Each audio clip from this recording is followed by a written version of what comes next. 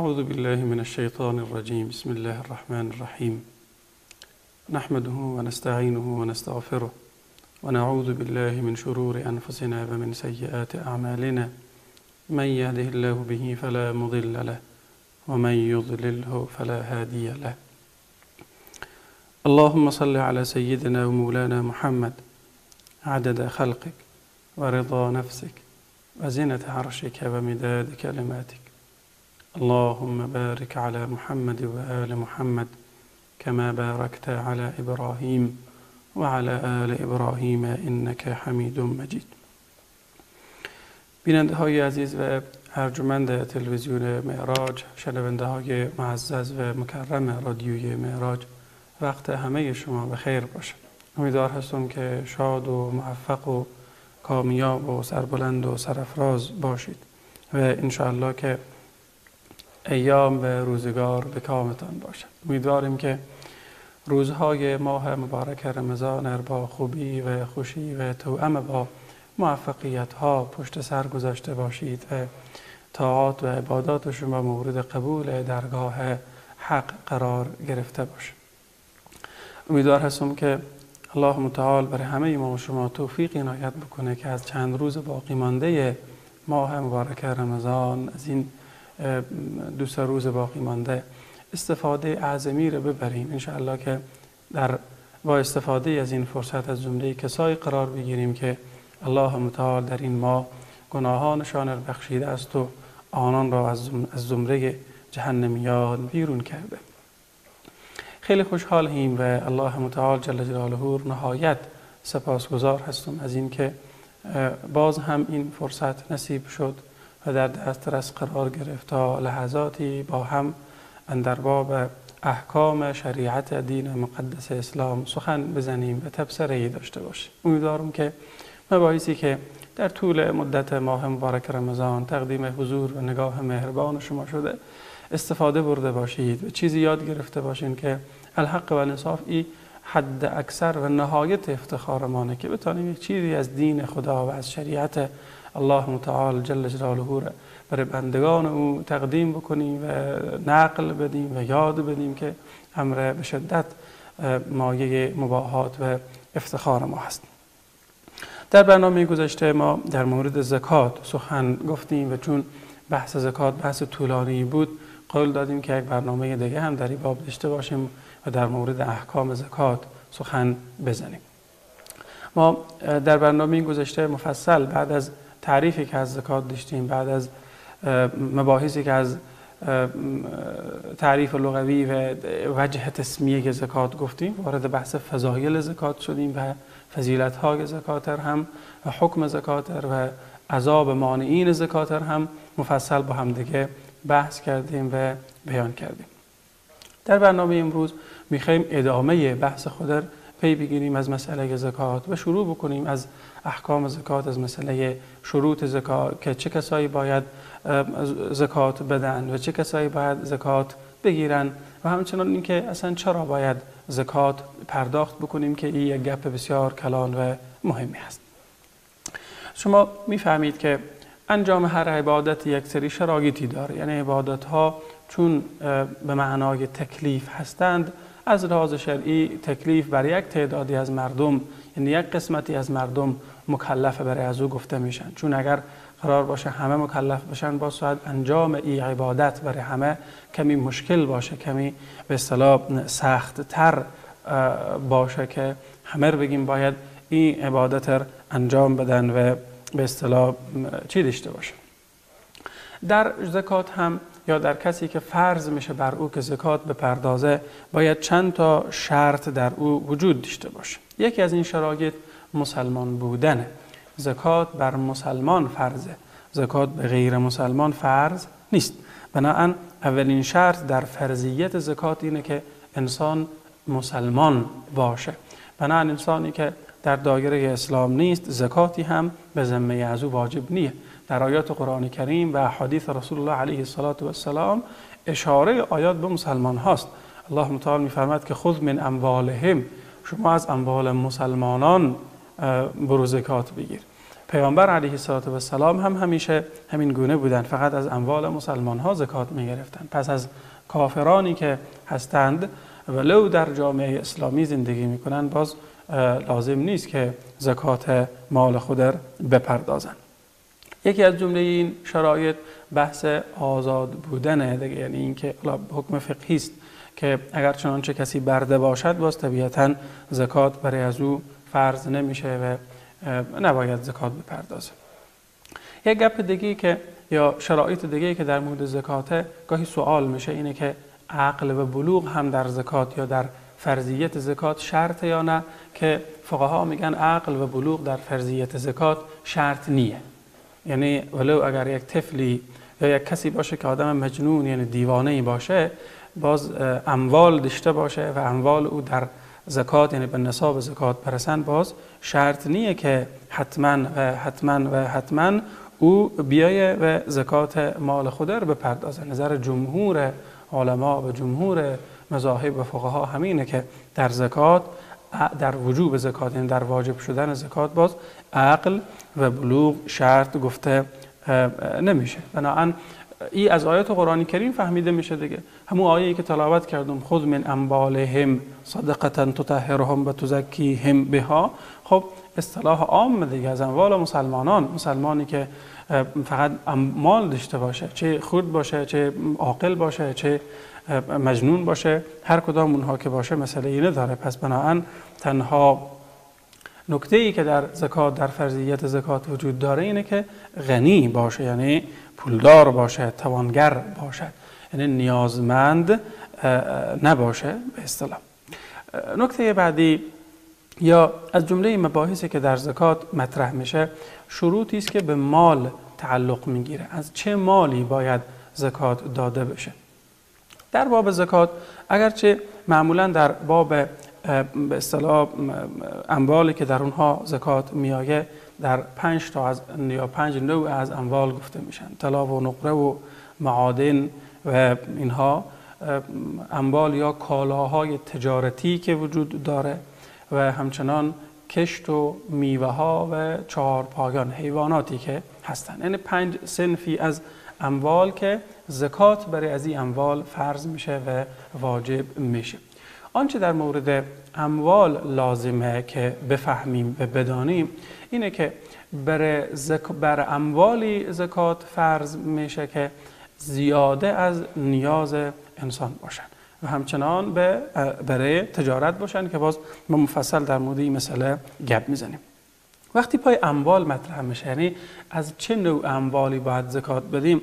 چند تا شرط در اموال وجود داره یعنی در مالی که ما و شما صاحب میشیم برای از اینکه زکات فرض بشه چند تا شرط هست. شرط اول بحث اینه که ملکیتی که در او شیء داریم ملکیت کامل یعنی ملکیت به اصطلاح تام و ملکیت کاملی باشه. یک بحث کلانی داره که شاید واردی و نشیم بهتره. منظور اینه که شما از مالی باید زکات بدین که مال ملک خود شما باشه نه ملک دیگری. صحیح شد؟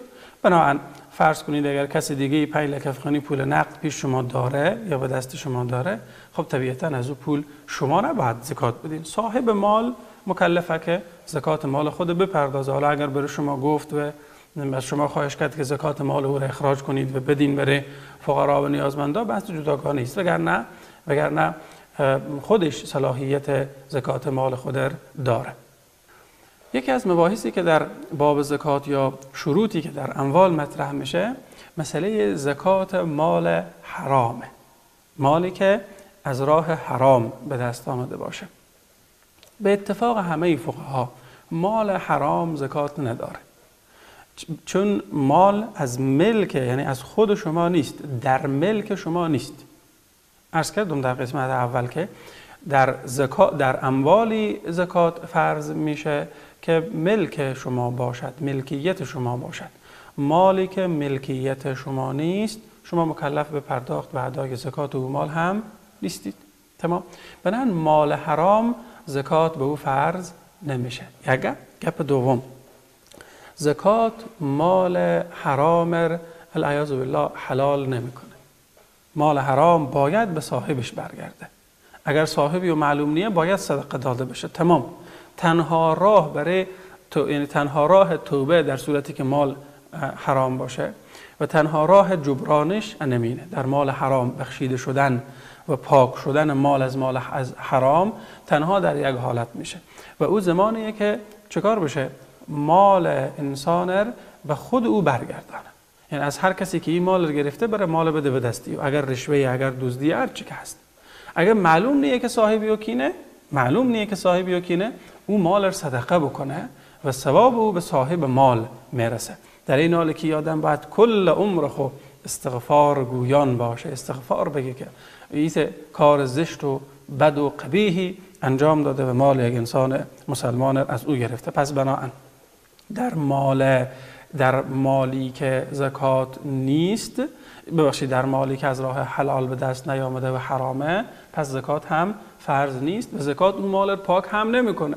یعنی دل شما جمع باشه دیگه. خدای نکرده اگه کسی باشه که باز مال حرام داشته باشه و خیال کنه اگر یک دوباره به حج بره و باز یک کمی زکات بده و صدقه بده مال پاک میشه. نه. اصلا و ابدا همچین مسئله وجود نداره.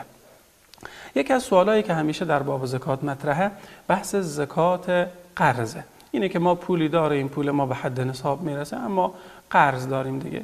قرضدار هستیم و قرضدار بودن برای ما ببخشید پولی داریم و پول ما قرضه و دست دیگه است. و نه ما زکات بدیم یا ندیم. اگر کسی قرضدار باشه خب مسئله نیست یعنی نباید زکات بده شکی در این باب نیست. ولی پول نقد داشته باشه مثلا شما یک لک داری یک لک هم قرض داری خلاص دیگه. و زکات برای شما فرض نمیشه. اما اگر شما از کسی دیگه قرض می‌گیرید در برابر قرض خود باز باید زکات قرض خود پرداخت بکنیم. ما دو نوع قرض داریم نه؟ یک قرضیه که خب طبیعتا به دست شما می‌رسه دیگه. یعنی مشخصه که من از فلانی مثلا 50 هزار یک لک دو لک جمعا من از مردم پول طلب دارم. طبیعتا از او پول به دست شما می‌رسه برای شما میایه و شما از او پول قرض پرداخت می‌کنید. یک قرضی است که اگه شما قرض داشته باشین که از رسیدن به او ناامید باشه یعنی به اصطلاح آمیانه تر اگر بگیم قرض سخته باشه که خدا میدانه برسه یا نرسه باز فقها میگن از همچین قرضی باز زکات لازم نمیشه. فرض نمیشه که او را هم حساب بکنه و به زکات برسانه.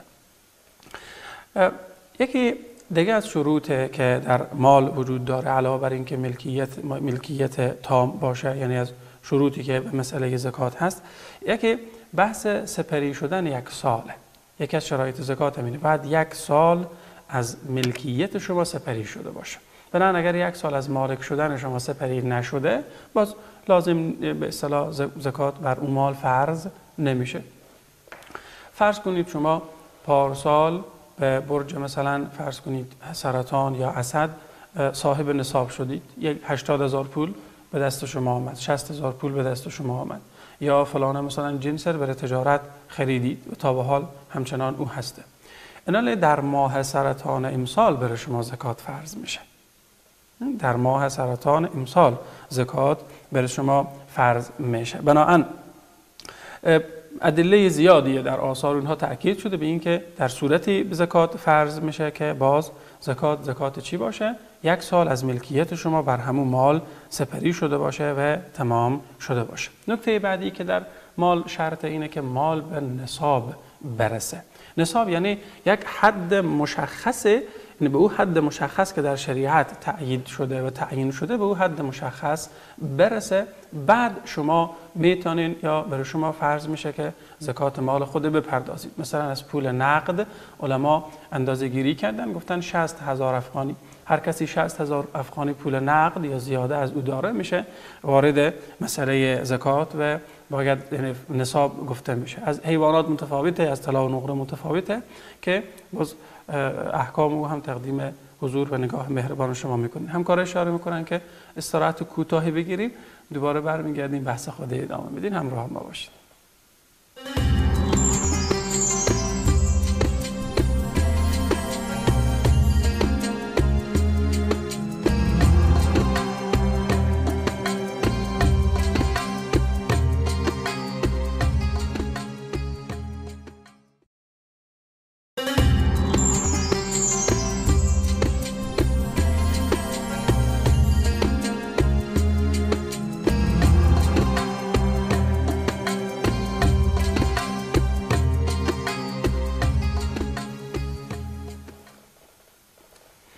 خیلی خوش آمدید. ما گفتیم یکی از شروطی که در نصاب در مال وجود داره اینه که مال به اندازه نصاب برسه. در پول نقد در صورتی که اضافه از نیاز شما باشد یعنی پول نقد داشته باشین باز انمو 60 هزار افغانی را حالا ما شرط می‌کنن که از او باید شما دو نیم فیصد او را پرداخت بکنید. حالا دو نیم فیصد 60 هزار چقدر میشه؟ دیگه شما فیصدی بگیرین ما خیلی به به اصطلاح من خود جز ملا حساب کردم. به ریاضی خیلی برابر نیم. پس بنابراین مال باید به نصاب برسه. ان در باب طلا و نقره اگر باز کسی داره طلا و نقره دو حالت داره. یک حالت اینه که به نصاب اینا نگاه کنیم. مثلا طلاهایی که خانم ها در خانه ها دارن. اولا به طلا زکات طلاهایی که خانم ها دارن زکات فرض میشه. تمام. یعنی چون برای زینت و امثال هم هست نیاز اساسی و اولیه و اینها نیست دیگه. به طلا زکات فرض میشه. خود نصاب طلا 20 مسقال هست. یعنی از 20 مسقال طلا وقتی داشته باشین یک مسقال او بعد زکات داده بشه. یک حالت اینه که این رقم حساب کنین. حالا 20 مسقال طلا حدودا 80 و چند گرم میشه. اگر کسی همه قدر طلا داشته باشه باز فرضه که فرض میشه که یک مسقال او باز یا چند گرم او به عنوان زکات پرداخت بکنه. یک حالت یک حالت که به تقوا نزدیک تره ثواب داره. خیلی هم خوب به شاگسته اینه که شما طلا رو به طلا حساب نکنین. طلا رو به پول نقد حساب کنین. یعنی قیمتی رو بشکنین. مثلا شما فرض مثال شما ده مسقال طلا دارید. مثلا فرض کنید شما 50 گرم 60 گرم طلا دارید. همون قیمت 60 گرم طلا چقدر میشه؟ یک لک دو لک هر که میشه به پول نقد حساب کنیم. چون پول نقد زودتر به نصاب می‌رسه و این ثواب بیشتری برای شما داره. اگرچه اگر چنانچه کسی باز طلا رو به قیمت طلا هم حساب بکنه یعنی طلا رو به همون حساب طلا هم حساب بکنه اشکالی نداره دیگه. اگر 60 70 گرم طلا داره باز طبیعتا زکات برای طلاهای از فرض نمیشه و لازم هم نیست که زکات یعنی از او طلاها و از او اموال خودش پرداخت بکنه. اما خوبه قسم که عرض کردم یعنی تقوا همین تقاضا می‌کنه انسان مؤمن. اگرچه به نصاب هم نمی‌رسه باز او رو هیله بکنه. هیله در جهت تقوا. نه ای که هیله در جهتی که گناه باشه نه. گاهی بعضی مردم هستن. یاد شما باشه نمیشه الله متعال جل جلاله فریب داد. یعنی این گپ کلانی یعنی اگه ما ولو خیال کنیم فکر کنیم که الله زرنگ بازی در آوردیم و اینا و آمدیم یک حیله تیار کردیم یعنی خود خوربازی میدیم. اصل. این ایر به جد میگم که من شنیدم نمی‌فهمم انشالله که راست نباشه شنیده ها ای که یکی از مردم مثلا اونایی که طلا دارن وقتی سر سال میشه طلا خور بنوم خانم خون هدیه می‌کنه هبه می‌کنه برای خانم خو که سال تکمیل نشه و این زکات نده از طلاها. بعد یک سال کاملی طلاها به نام خانم. بعد وقتی ماه سال تکمیل شه باز خانم این طلاها بخشش می‌کنه برای شوهر خو که به اصطلاح شوهر صاحب اونها بشه و از ملک ازی بیرون بشه باز نصاب ازی بیرون بشه. شوهرم تازه مالک مال شده پس زکات فرض نشه تا یک سال دیگه. این هیله یعنی این به هدف هیله به هدف اینکه فرار از زکات باشه باز این امر طبیعتا گناهه و جایز نیه اما در مورد زکات کالاها یا زکات اموال. از اموال در صورتی که اضافه و به جهت تجارت باشن زکات برای اینا فرض میشه. شما مثلا اگر خانه دارین مثلا موتر دارین دکان دارین و ساگل مورد نیاز در دکان خودتان مثلا فرض کنید کامپیوتر دارین که داخل دکان شما گذاشته از اینا زکات نمیآیه صحیح شد؟ از اینا زکات نمیآیه زکات اونها را یعنی زکات نمیشه چون نیازهای شما نه دیگه. هرچی هم که قیمتی باشه. ولو یک موتر داریم که یک لک دلار قیمت اینه موتر زیر پا شما اما اگر دو تا موتر شد یا اون موتری که شما دارین به هدف تجارت باشه شما یک موتر به هدف خرید و فروش آمدین گرفتین او دیگه باز به هدف تجارت این اون نیاز نیست. او دیگه باز از او بعد زکات او رو پرداخت بکنین و انمو قیمت از او حساب میشه و باید که قیمت از او پرداخت بکنین و بپردازید. یکی از جمله سوال هایی که خیلی مطرح میشه خیلی هم پرسیده میشه اینه که چگونه میشه که آدم باید زکات بده. چگونه میشه که زکات بده؟ او خو امر ایمانی است. بگذاریم وارد بحث یا نشیم چون وقت برنامه ما کم مانده. انسان مسلمان زکات میده به چراهایی هم کار نداره. اینکه فواید زکات در جامعه برای فقرا برای نیازمندان چقدر مفیده برای اقتصاد جامعه چقدر مفیده اونا بحث های کاملا جداگانه است. من می‌خوام این بگم که زکات چی بدیم و به کی بدیم؟ ساده تر چه چیزی باید زکات بدیم؟ در زکات و در همه صدقات در صدقه فطر هم همینطنه در زکات و صدقات باید چیزی بدیم که نیاز نیازمند رفع بشه. هر چی که نیاز انسان های نیازمند باشه. سه شد؟ هر چی که چی باشه؟ نیاز انسان های نیازمند باشه. گاهی یک انسان نیازمند به پول نیاز داره گاهی یک انسان نیازمند به دارو نیاز داره به دوا نیاز داره. گاهی وقتی یک انسانی هست مثلا فرض کنید به فرش و ظرف نیاز داره. گاهی یک انسانی هست به برنج و لوبی و عدس نیاز داره. به هر کسی یعنی هدف از زکات همینه. نیاز نیازمند باید رفع بشه. هر چیزی. اگر زکات چیزی داده بشه که نیاز نیازمند رفع نشه او باز اعتبار نداره. لن تنالوا البر حتی تنفقوا مما تحبون. ولی یک فرش کونه سوخته پاره پاره به خونه خود داریم دیگه به درد ما نمی‌خوره پته و همین فرش بیایم 5000 حساب کنیم به عنوان زکات بدیم به یک آدمی اعتبار نداره دیگه. زکات از چیزی باید باشه که نیاز نیازمند در رفع بکنه. نیاز انسان های نیازمند در رفع بکنه. گفتم اگر اگر کسی است که می‌فهمید تشخیص میدین پول داره پول نیاز داره پول نقد بدین بریو که نیازش رفع بشه. اگه کسی می‌فهمین که مثلا فرض کنید که انسانیه که به غذا نیاز داره. خب شما برین غذا بخرین به خانه بدین. گاهی وقتا بعضی مردم فقیرن خانواده فقیرن مثلا مرد خانواده معتاده.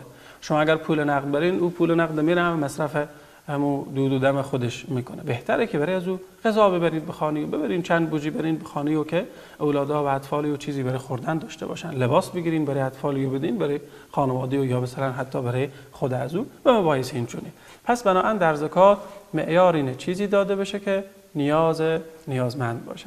من همیشه همین گپ میگم که چند سال پیش یک شرکتی یک کسی بوده. بعد رفته بود نوشابه توضیح کرده بود به عنوان زکات. خب نوشابه دیگه برای نیازمندان نیست. و شاید الله اعلم دیگه. یعنی کسی هیچ فقیری پیدا نشه که به اصطلاح به تعبیر آمیانه تر اگر بگیم بخواد نوشابه بخوره. چون نوشابه یک چیز لوکسی است که آدمای پولدار می‌خورن که حالا خاطر خیلی مضره و به اصطلاح خیلی بده. پس در زکات شرطه که چیزی داده بشه که نیاز فقرا و نیازمندها رفع بشود. یک از موارد دیگه ای که سوال های مهم هست اینه که به چه کسانی زکات بدیم؟